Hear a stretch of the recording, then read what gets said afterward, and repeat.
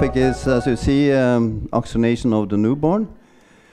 And uh, here are the objectives of my talk. Uh, I've tried to summarize the present basis and also the knowledge gap regarding oxygenation of the newborn. And I've talked about delivery room handling, uh, both for term, near term, and also preterm babies. Uh, and then I will uh, also talk about oxygen saturation targets for for immature babies beyond the delivery room. Um, and then we have some uh, new data uh, which um, have not been published in full yet regarding the prognostic uh, value of saturation and heart rate at five minutes. Uh, so I will show you some of these data.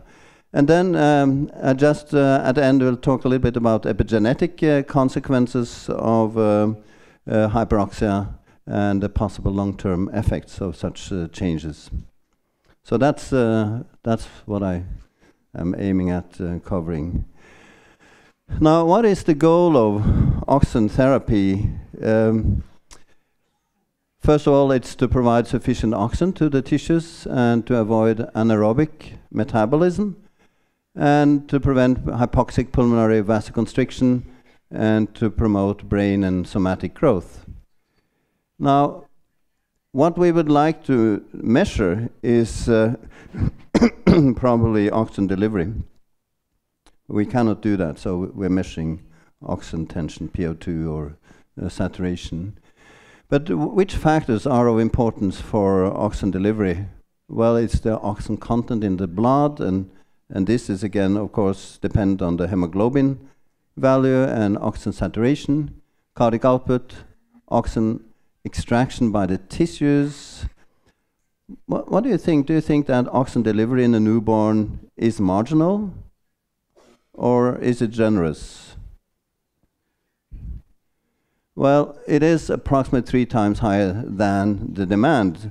And that is good because we know that sick newborns might be marginal, but in general, uh, oxygen delivery is, is very generous, also in newborns. Uh, just mentioning um, uh, fetal hemoglobin, uh, it has a high affinity to oxygen, but it also facilitates the unbinding of uh, oxygen in the tissues when the PO2 is low. So this is an important um, uh, effect of hemoglobin F. Now, we all know that oxygen is critical to life, uh, but too much oxygen in the newborn can cause a number of um, ill defects, ill uh, effects, uh, oxidative stress, lung injury, uh, other diseases, bronchopulmonary dysplasia, ROP, brain damage or impaired brain development. We also know that it can damage heart, kidneys, and other vital organs. And I, I don't have time to go into that uh, that uh, part of it. So let's um, uh, go directly to the delivery room. How much oxygen should we give when we resuscitate the newborn? Or maybe it's difficult to, to I shouldn't ask such a question because it's not so easy to to answer it in a simple sentence. So let's start with term and near-term infants. This is, um, I think, the latest um, meta-analysis of all the studies, 10 studies uh, carried out where term uh, or near-term infants were randomized or pseudo-randomized to be resuscitated initially with 100% or uh, or uh, room air. Um, I know there is a Cochrane review in the pipeline, a new Cochrane review. I haven't seen it in, in press yet. Uh, but what this uh, meta-analysis showed was that mortality is um, reduced significantly, approximately 30%. If you start resuscitation with air instead of 100% oxygen. And this was the reason why ILCOR in 2010 changed their guidelines from 100% oxygen, and stating that in term and uh, near-term infants in need of positive pressure ventilation, it is best to start with air. So that was a shift in the paradigm eight years ago. We try to illustrate uh, what we think is happening when we resuscitate with air versus oxygen. So here is first, we try to illustrate what happens when we use air. And here is the PO2. It, after asphyxia, it increases from low levels up to physiological levels. It takes some time. Maybe that's good. And some free radicals are generated, but not that much. By contrast, if we resuscitate with 100% oxygen, you see this enormous PO2 peak. And this is exactly what happened in newborns in old days when we resuscitated with 100% oxygen. And we know today that such a peak is detrimental. And we also believe that you get such, I call it a tsunami of free radical production when you resuscitate with 100% oxygen. Now, such hyperoxia has a number of effects on the, on the baby. It leads to cerebral vasoconstriction um, and inflammation in the brain. The first time we saw that, we saw that in the piglet studies 20 years ago, almost 20 years ago. I was very surprised because I, I wouldn't have been surprised to find inflammation in the lungs, but also in the brain. It leads to increased pulmonary vascular reactivity. It means that if you resuscitate with 100% oxygen, it might induce more pulmonary hypertension. And actually, one of the arguments against using air for newborn resuscitation was that we need oxygen in order to reduce the pulmonary uh, arterial pressure. That was an argument I heard numerous times when I was speaking about this. But in fact, the opposite is happening. You increase the risk of pulmonary hypertension if you. I try to turn off this. Uh, if you resuscitate with 100% um, oxygen. And we also know that oxygen in the delivery room, just a few minutes, until 10 minutes, oxygen exposure is associated with an increased risk of childhood malignancy, especially leukemia, a threefold increased risk. So there are lots of arguments why we shouldn't uh, make the newborns hyperoxic.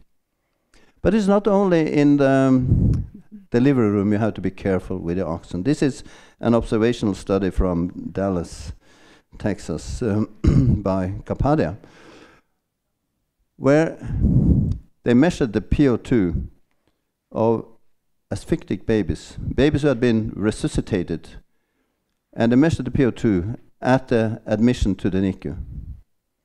And what you can see here is that those babies who had a very high PO2, very high, they had almost a fourfold increased risk of moderate to severe hypoxic ischemic encephalopathy. Now you can argue that, well, these babies who had a higher PO2, they were sicker. That's why they were given more oxygen, sicker than these. But uh, the authors really looked into that and couldn't find that there was a difference in, uh, in the degree of disease. Uh, anyway, it's not a randomized study, of course, but uh, I think it uh, indicates that there is an uh, association between moderate severe hypoxic ischemic encephalopathy and the degree of hyperoxemia. I wrote, a, I wrote a, an editorial when this was published in Journal of Pediatrics, and, and I made a calculation how many babies in US can avoid or doesn't need hypothermia treatment just by keeping the oxygen level in the physiological range, and it was several thousand uh, babies. So this is an important uh, point to remember. Not only the delivery room you should be careful with oxygen, but also beyond the delivery room.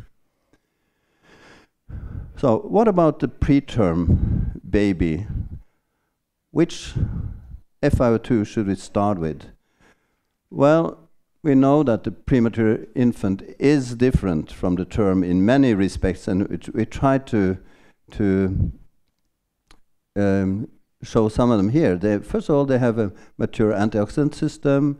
They have an altered circulatory response, poor ventilation, ineffective gas exchange. This may, in some, lead to poor pulmonary vascular transition and respiratory failure. Now, the question is, should we, if preterm babies, and now we're talking about babies less than 32 weeks, um, should we start with a high FiO2 or should we start with a low FiO2?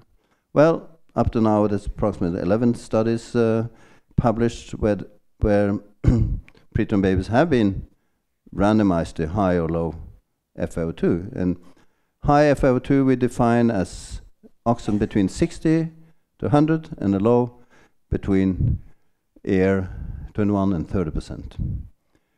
So this is um, our most recent meta-analysis published just a year ago.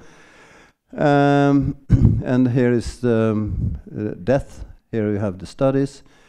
And what you can see here, there's absolutely no effect on mortality, whether you start high or low. And then, of course, if there's no effect on uh, mortality or other adverse effects, we want to start low. But there's absolutely no, you see there, relative risk 0.99. Um, we looked at some secondary outcome measures as BPD, intraventricular hemorrhage, and again, there's no effect. Even on BPD, it, doesn't matter whether we start high or low. Intraventricular hemorrhage, the same. Uh, ROP, grade 3 or above, no effect. There is a tendency that there is more necrotizing enterocolitis if you start low, but it's not significant. Uh, PDA, which I always have heard is oxygen sensitive, but absolutely no effect on the PDA in need of therapy, uh, which uh, initial FiO2 you are starting are using. Um, also, yesterday, uh, yes, not yesterday, but last year we we published a TORPIDO trial, which was an Australian-based uh, study where babies less than 32 weeks were randomized to air or 100% oxygen. Now, this um, study was stopped um, prematurely because it was difficult to recruit babies into the 100% oxygen arm. And now we, can we will see in a while, and you can uh, judge yourself, was it correct to stop the trial? Well, first of all, there was no difference in mortality when we looked at the whole cohort. But then we did a secondary analysis of babies less than 28 weeks. And to our surprise, I would say also to our concern, we saw that there was a significant higher significant higher mortality in babies less than 28 weeks started with the air compared with 100% oxygen. Relative risk 3.9. So based on this um, data we have so far, we have made this uh, graph here, which is, is not so difficult to interpret as, as it looks. Uh, but we say one size does not fit all when we're talking about preterm babies. Here we have odds ratio of relative risk for mortality at the y-axis. Here we have gestational age. And um, here we have the, the medium with confidence intervals. And you know that if confidence intervals do not cross one, it means that one therapy uh, is significant compared with the other. Um, and if it's under this line here of 1, it means that it favors low oxygen. If it's above, it favors oxygen uh, supplementation. So for babies uh, about 31 weeks, you see here confidence intervals do not cross 1, and they're quite narrow because we have quite a, quite a lot of babies, more than 2,000 babies. So for these babies, we should still start with air if they need resuscitation. Babies between 28 and 31 weeks, you see confidence intervals cross one here, so we don't know whether we should start with air or we should give some oxygen.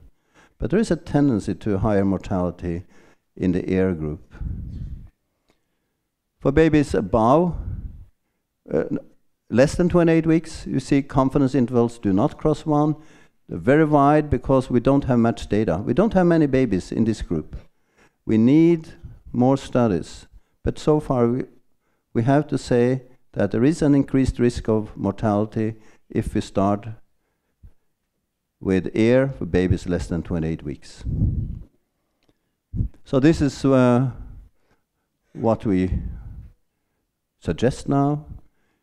Term and near-term infants start with air, adjust according to the saturation. I'll come back to that. Preterm babies between 28 and 31 weeks start with 21 to 30 percent, adjust according to saturation. Preterm babies less than 28 weeks do not start with air. As we suggest 30%.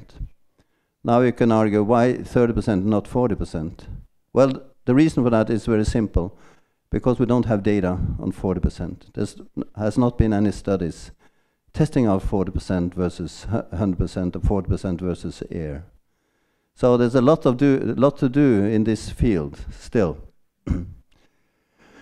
now the question is, um, why do the immature babies need some oxygen to get started? Well, we, we don't know, but, but maybe there's a clue from a study by Stuart Hooper in Melbourne and Arjan te Pas, um, where they studied immature rabbit kittens to nine days old, and put, they put them in air first. Here's the breathing rate, it's uh, slow, and then they put them in oxygen, breathing rate increased, put them in nitrogen, breathing rate decreased, oxygen increased again. What happened? Well, they also measured the time the glottis was open. and it seems that even if it opens slowly here, when you are when they're breathing air, it goes opens more or faster when they breathe oxygen. Nitrogen is closed again, oxygen opens up. Everybody of you who has been ventilating a newborn baby with bag and mask knows that it's it almost impossible if the glottis are closed. We have to get the glottis opened, and maybe they need some oxygen in order to open the glottis. Now, a few words about um, how saturation should develop the first minutes after birth. Uh, we have um, now a group of approximately 700 babies which have been resuscitated with different FiO2s, uh, and we tried to, to follow these babies. And so here I picked out babies less than 29 weeks. Uh, um, yeah, we're 768 babies now, so we're following. The shaded, here is the minutes after birth. Here's the saturation. The shaded area here is the recommendation, the targets recommended by the American Heart Association. And these here are the targets recommended by the European Resuscitation Council. Now, none of these recommendations are evidence-based. It's only the best guess. So then we have followed babies resuscitated with air, here 30% oxygen, 60 or 65% oxygen, 90 to 100% oxygen. And you can see that only the babies who were given 90 to 100% oxygen were at the target within two minutes. All the others, it took six, seven minutes, eight minutes until they reached the target. We don't know if this is good or bad, but I think it's an interesting excuse me observation. Now, what is the impact of the saturation, for instance, at five minutes? Well, we looked at that. And uh, for instance, in the TORPIDO trial, we found that those babies who had a reached a saturation at five minutes of 80% or more had a significantly reduced risk of uh, death or disability compared with those who did not reach the saturation of 80% at five minutes. You see, adjusted odds ratio is 0.5, and this is significant. And then when we did uh, the follow-up, which was published just last month or in September, we see that cognitive function um, was significantly higher in uh, those who had a saturation of 80% or more at five minutes compared to those who did not reach saturation. Now, does this mean that uh, we should aim at a saturation of 80%? Does it mean that they are impaired because the saturation is lower? We don't know. It might be that they are sicker. That's why they don't reach the saturation. we also looked at babies, the mortality, and uh, again we saw that those who did not reach the saturation of 80% of five minutes had a significantly higher mortality and also more intraventricular hemorrhage, grade 3 or more. But there was no difference in BPD. Now, in this cohort, almost 50% of the infants did not reach a saturation of 80% at five minutes of age. So again, what should we do with that? Uh, because we know they are at risk, uh, increased risk of death and intraventricular hemorrhage. Maybe we should carry out a randomized study. Uh, but I think it is very, very difficult to do that. I don't think anyone can randomize babies to keep the saturation under 80% the first five minutes. So I'm afraid we will never do a randomized study in this field. what about um, the heart rate at five minutes? Well, Vishal Kapadia is looking at the same cohort um, and um, uh, called uh, and doing what we call the Bradyprem study, which is uh, now it's not been published yet, but uh, hopefully will be submitted soon. And the objective is to study the incidence of bradycardia in preterm infants less than 32 weeks in the delivery room and its impact on neonatal morbidity and mortality. And again, this is not a randomized study, of course.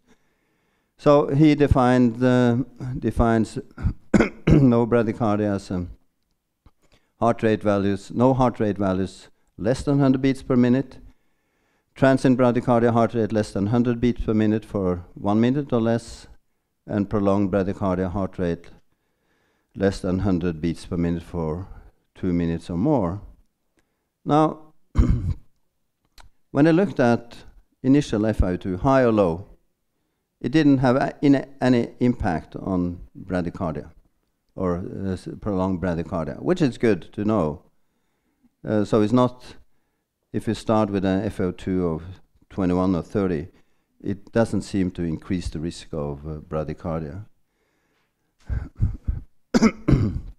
However, if a baby had prolonged bradycardia or have a, has a prolonged bradycardia, there's an increased risk of mortality. You see here, relative risk, odds ratio 3.24, and this is highly significant. So that's a poor sign, bradycardia at five minutes. and it also seems to be a relation between the duration of bradycardia and uh, mortality. You see here, four minutes is an exception. I think that we don't have enough babies, but it seems to be pretty uh, close uh, association here. so those who did not reach heart rate of 100 beats per minute by five minutes were at increased risk of death. And again, we would love to have randomized studies, but again, I don't think we can do that. I think that uh, we have to say these are the data we have. Maybe we can get more observational data, uh, but as long as these are the, the best data we have, we have to try to secure that the heart rate reaches 100 within five minutes of age. now, I will talk about oxygenation beyond the delivery room, and I'm sure that you all have heard about the NEOPROM studies and know the, the results of the NEOPROM studies, where babies less than 28 weeks were randomized to target a low or a high saturation. So the question was, what is the optimal target of saturation for preterm babies less than 28 weeks? That would result in the minimal death or neurodisability. So there are five studies included in the NeoProms. It's the support trial from US. It's the COT trial from Canada. and there are three boost trials, one from UK, one from Australia, and one from New Zealand. They have very similar protocol. There's some small differences. And as I mentioned, babies less than 28 weeks were randomized before they're 24 hours of age to um, a low saturation target, 85 to 89 percent, or a high saturation target, 91 to 95 percent.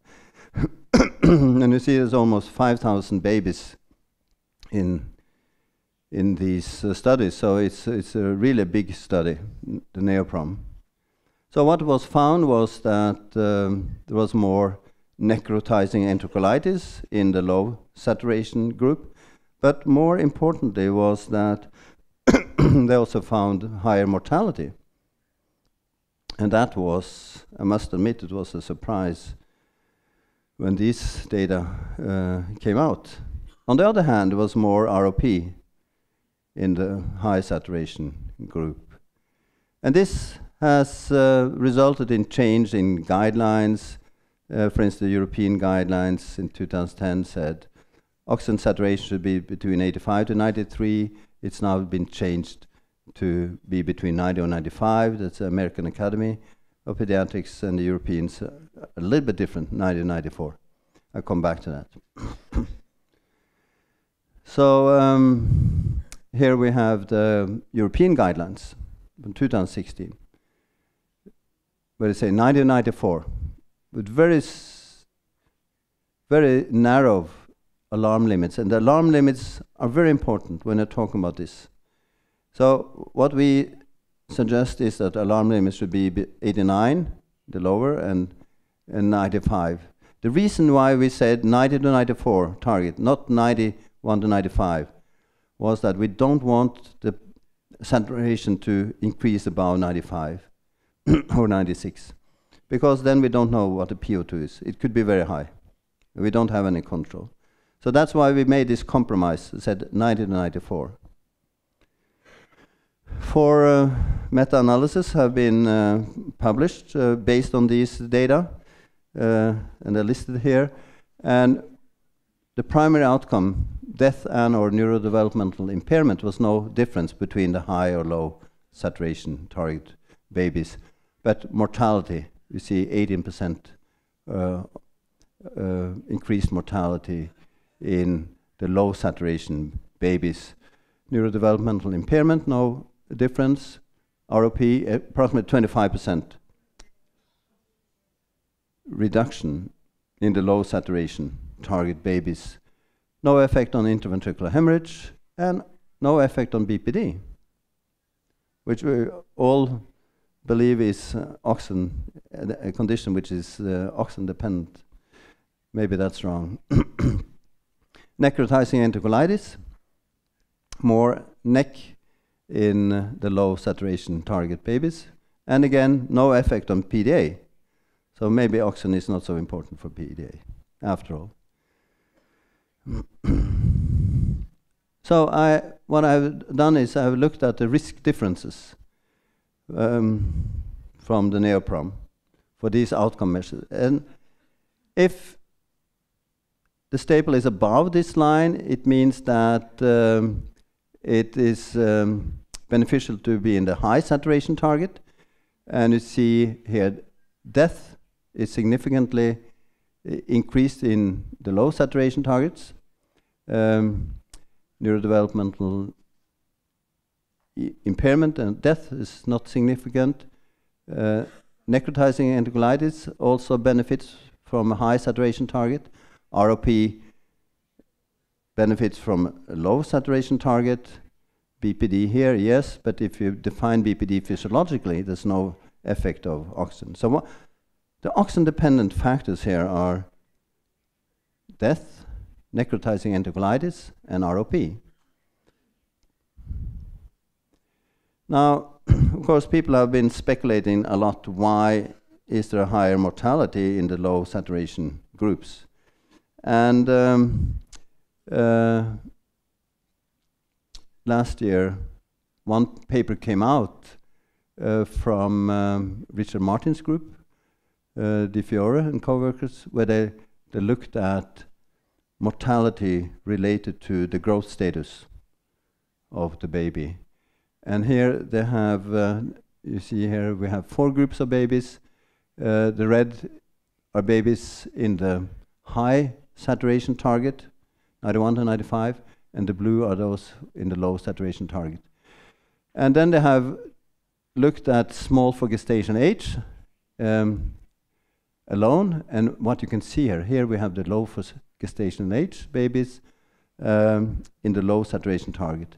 And here we have, uh, they have a, a, lower oxygen saturation, um, and uh, they also have, uh, yeah, not so much here, but here we have the time with hypoxemia and intermittent hypoxemia, much more in the small for gestation age compared with the three other groups. And when they looked at survival, there's one group that is different from the others, and that is um, uh, the small for gestation age in the low saturation target groups, as you can see here. Completely different from the all other groups. This is the median oxygen saturation. Here is the intermittent hypoxemia. Seems to be very bad for these babies. Um, and also, well, also intermittent hypoxemia defined a little bit differently. So everybody thought that, okay, these babies should not be kept low. But then when they looked at the whole neoprom uh, population, they couldn't find any difference between the small for gestation age babies and those who were appropriate for gestation age. So this makes it, um, of course, very difficult uh, to draw conclusions. So the study found an association between median oxygen saturation during the first three days of life and infant survival at 90 days in both infants born appropriate and small for gestation age. It seems that this um, um, the saturation the first three days of life has a, a long-term effect on the babies, 90 days at least. Um, in contrast, the association between time with hypoxemia and incidence of intermittent hypoxemia events with decreased survival was limited to the infants born small for gestational age. Therefore, maintaining extremely low gestational age infants, and especially infants born small for gestational age at the higher end of recommended guidelines during the first few days of life may improve infant survival. So that was the, the conclusion from data from the support trial. But as I mentioned, when they looked at the whole uh, cohort, the neoprom cohort, they couldn't reproduce this. I would, if you ask me, I would still say, yes, I would keep this, these babies a little bit higher, in the high uh, range of the target. This is um, another study. Uh, this is by Christian Poets in Tübingen. And he looked at the association between intermittent hypoxemia uh, on this side here, or bradycardia here, and late death or disability. So, what he found was that, oops, he found that was that, for instance, um, mortality is significantly related to the time of hypoxemia. Also, this is cognitive or language, well, I can't read it myself. Language delay, again, significant and major yeah, motor Im impairment here. So, so it seems that hypoxemia plays an important role for the outcome. It couldn't find the same regarding bradycardia. There's some tendencies, but it's not significant.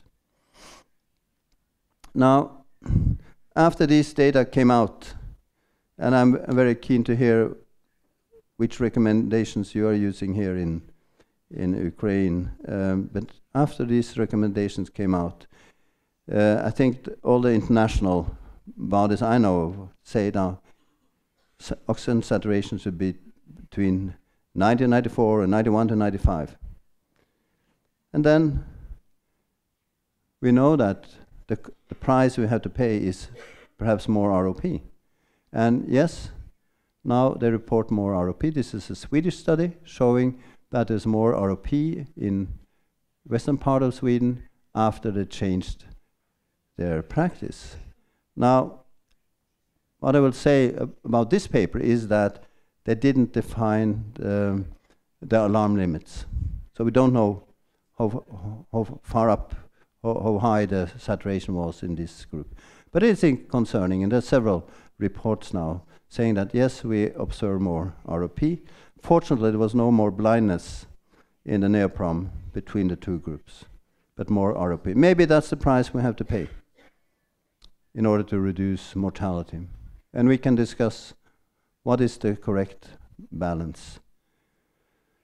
And then, um, yeah, my time is soon up. Just a few words. I just want to show you some very recent data.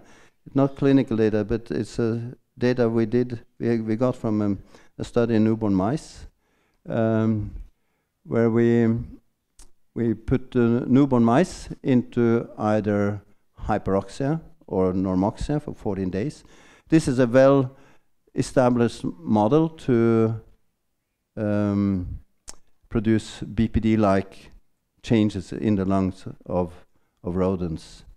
So we use that, and you see that in order to get these pups survive, the mothers had to be switched between the oxygen and the, the air chamber.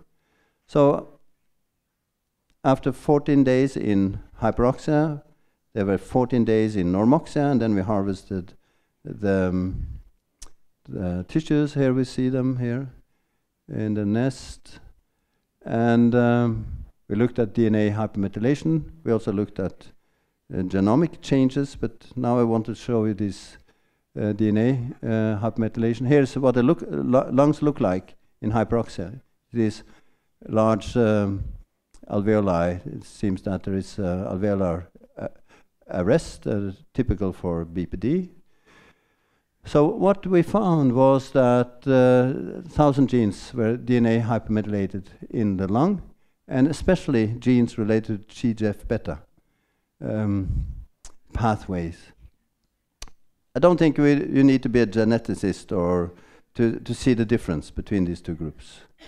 Um, um, so it's very striking. Now, TGF-beta plays an important role for lung development and probably also for development of bronchopulmonary dysplasia. Um, and um, so what we have shown is that um, hyperoxia increases methylation of, of important genes of the TGF-beta pathway. Now, what we, we don't know is whether such changes are transitory, transitory or if they're permanent. We have just uh, received the data from the brain, in the same animals. We have not finished the analysis yet, but we have found some interesting uh, epigenetic changes also in the brain.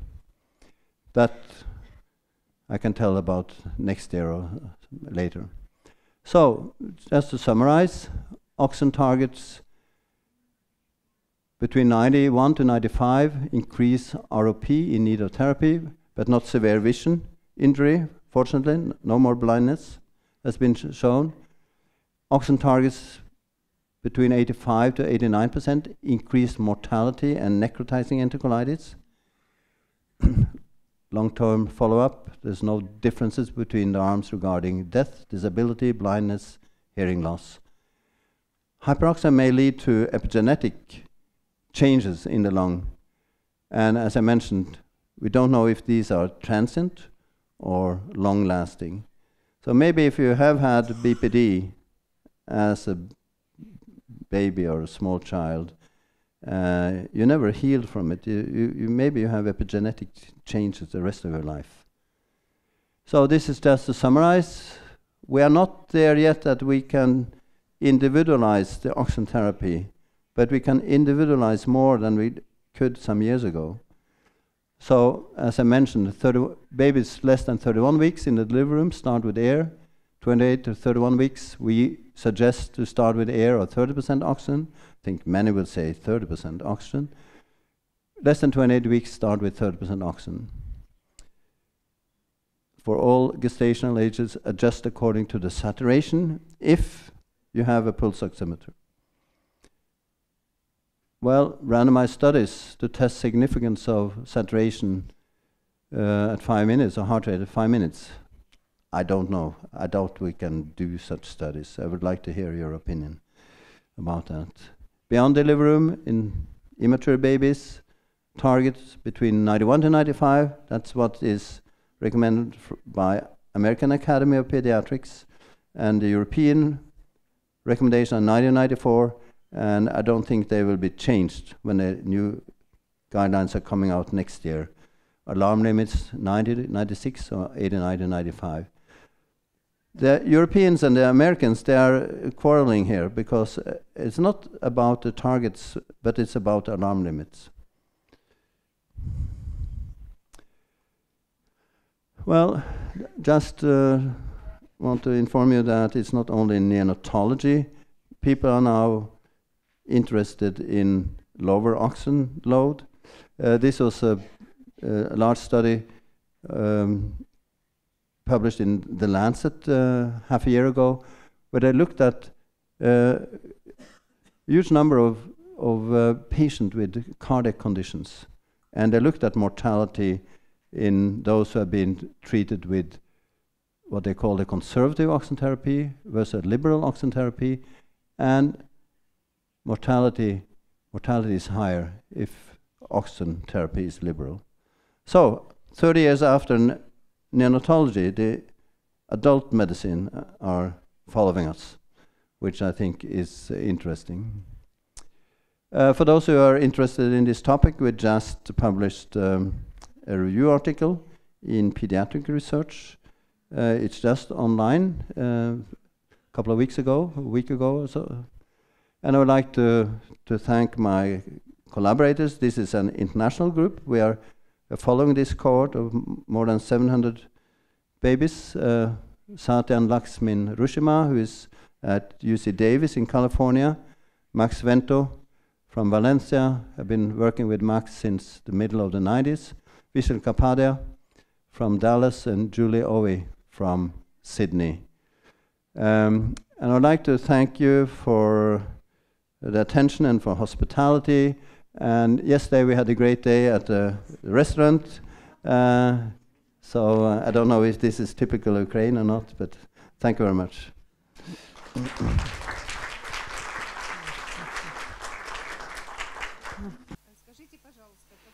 Can you tell us, please, what is the role, do you think, para-infrared spectroscopy in assessing criteria of safety of oxygen therapy in newborns, and especially in preterm newborns? Well, the question was um, the role of uh, NIRS, near-infrared spectroscopy, and uh, you know there are several large studies going on now with testing out uh, the significance of NIRS compared with the pulse oximetry and uh, I think that in the future we will use NIRS, especially to look at the brain, but not only the brain. We, we just finished a study in newborn piglets where we did the NIRS studies of the intestine during hypoxia and reoxygenation. So I think it will be uh, um, used more routinely in the future, but I think we need more data.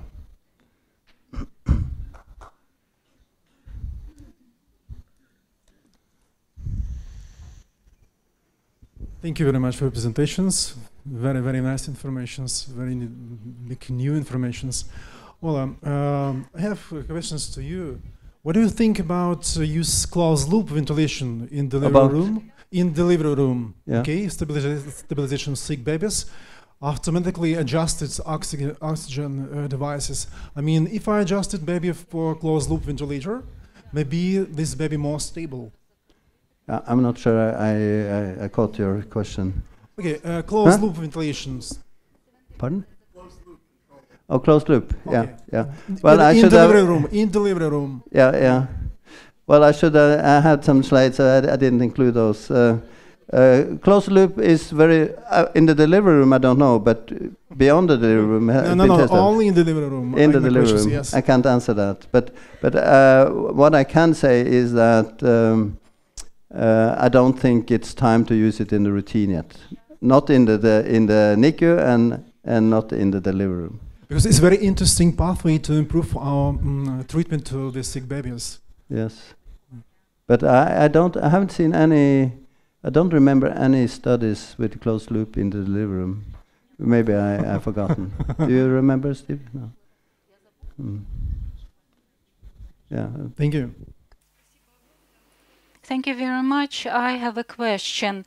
If, for example, if we talked about children after delivery room and about the target saturation during the first months of life, were there any studies that would compare, for example, a lower target saturation, 89, 92 during the first two weeks when there is the first stage of retinopathy is seen, and higher in the subsequent weeks of life? Or are we talking about target saturation, which is the same since the first day of life until the end of the whole neonatal period? As far as I understand your question, you ask whether we should keep the saturation the same the whole neonatal period, or we should change it, start lower and then increase it. And that's a very good comment, a question. Um, and it might be that it i- is optimal to to change the saturation target according to the maturation of the child. The problem is that we don't have any data uh, to support that. So we have to do the studies before we can change the practice. So as I said, there's a lot to do in this field, and we need a number of studies in order to answer all the questions. And for instance, I showed the data only for babies less than 28 weeks. We don't know which saturation targets we should aim at for babies at 29 weeks, or 30 weeks, 31 weeks. We, we don't have any data as far as I know, or very little data.